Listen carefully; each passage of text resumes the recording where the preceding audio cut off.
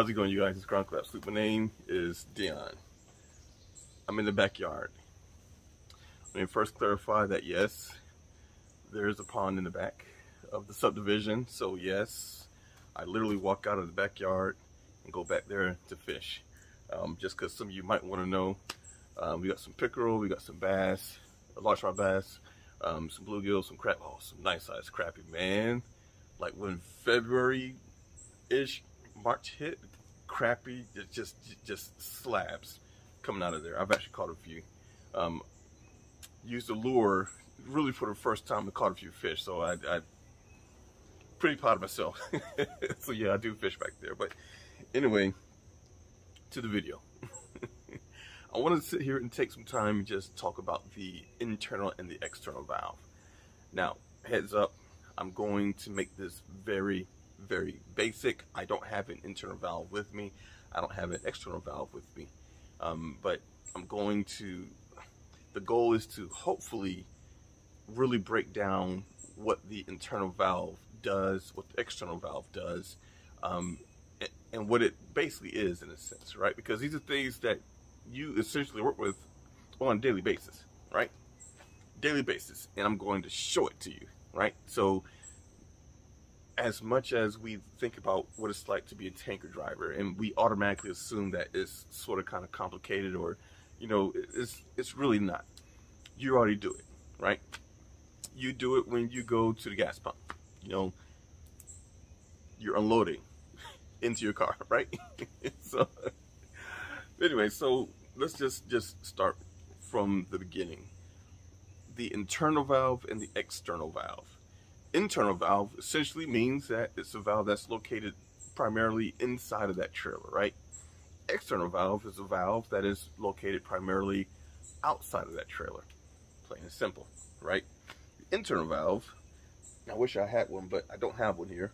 But the internal valve is essentially a tub stopper, sink stopper, right?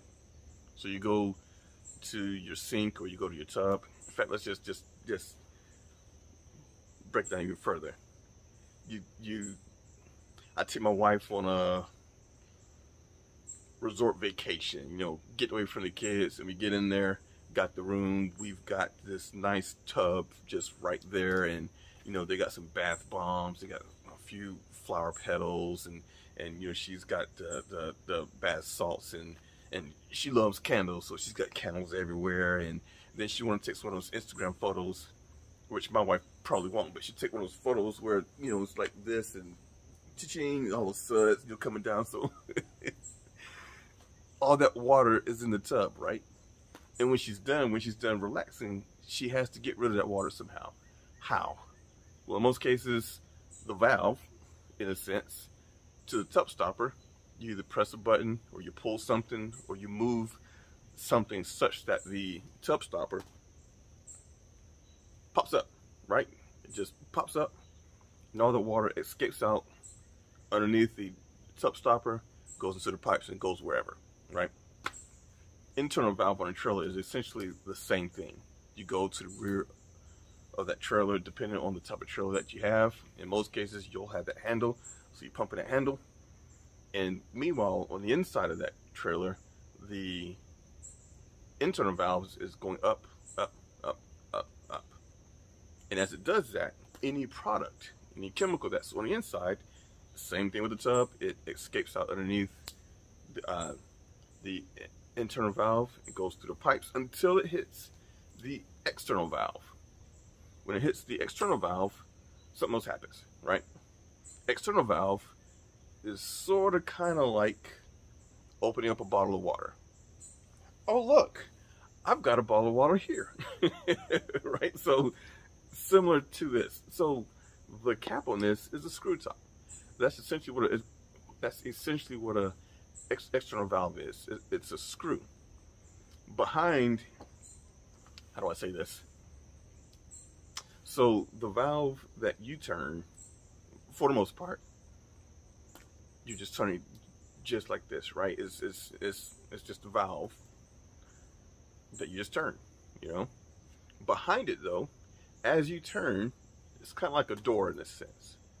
So all the product goes into a pipe and it hits a door. So that every time you screw open, this door opens up. All right, with every screw, right? And then as it opens up, all the product is able to come through and then go down into the discharge, right? That's essentially what that is. Now, as you screw open the external valve, you're able to kind of control that flow, similar to a water bottle. I'm gonna see if I can make this happen. I don't know. We'll we'll find out. But the more that you screw, the more product can escape out. Now this screw isn't exactly like what you have on the external valve, but see that? I don't know if you see that. Starting to develop a leak there. Same thing. And then you screw more. See if we can get, uh, not really getting it. But the more that you unscrew, the more product comes through the external valve. So the way that I look at it, if you're as old as I am, or older, there used to be a game that was popular called Lemmings, right? And Lemmings was, was, was essentially these small characters that you had to help get from point A to point B. And it was such where, you know, you had to climb boxes, you had to climb stairs, you had to go through like a portal, this, that, and the other, so you can make it to point B. Point B was like a door at the top of the screen, right? But meanwhile, you had to do it such that nobody died. But everybody followed everybody, right? There was, they didn't do anything but just walk, right? So the product in itself is the same way. It's just, it's just, it's not going to go go nowhere until there's an opening somewhere. So when you open up the internal valve, now the product has a place to go and it goes into the internal valve until it hits the external valve. It can't go any further. It's like another door that says, right? Hits the external valve and you screw it open. Now it can go out and then go into your hose and then go into the customer's tank, right?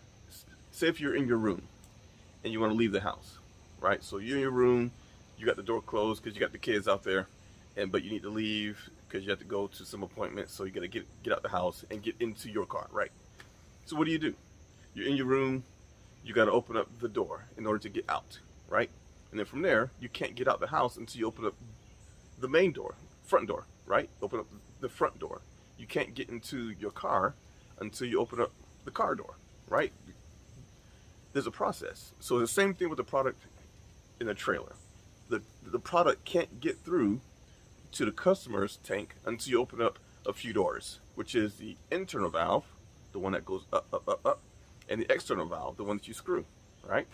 And then even then, once it goes into the hose, it still can't get into the customer's tank until you open up their door, which is their valve. Open that up. Product won't flow from point A, which is your trailer, to point B, which is the, the customer's tank, until you open up all these doors, right? I know I broke it down really basically. That's not the right way to use that word, but I'm going to use it. I, I, I, I broke it down. I know. I know. But if you're anything like me, it's how I process information. You know, so I'm just offering a different way of processing that information. For those of you who may be thinking, oh my gosh, tanker driving, hazmat, chemicals, I might die, right? so just just different way of looking at it. It's it's as as as complicated and meticulous being a tanker driver is. It's really simple, right? So this is just my way of just breaking down to this most simplest form. Internal valve is just like a tub stopper, right? Same exact thing. You use that on a daily basis if you want to stay clean, right? Same exact thing. It's a tub stopper. External valve is just like the cap on a water bottle. You know, unscrew it. The more that you unscrew, the more product, the more water, the more Coke that comes out of the bottle. Plain and simple? And so, so with that being said, though, when you're trying to unload product and you know that you've got valves open and you turn everything on, but there's no product going to the customer's tank. The first question is, is why? What, what's being blocked? Is there a blockage somewhere? Do I have everything open? You know?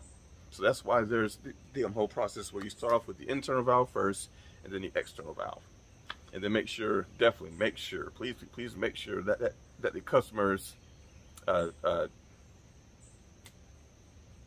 the um, customer's line has been open, right? because again, product has to flow from point A to point B, right? Uh, I think that's going to be it. Um, due to the pond in the back, I think I'm going to go ahead and because it looks like it's a great morning. We went through a whole lot of rain, um, so I think I might go back there and put a line in the water, see what I get. But there's a lot of pond grass too, though, man. This summer, year, there's a lot of pond grass back there, and, and I want to be able to fish without always dragging in some grass, but I don't know. I don't know. Anyway, until next time, you guys be good, be safe, and know what you do.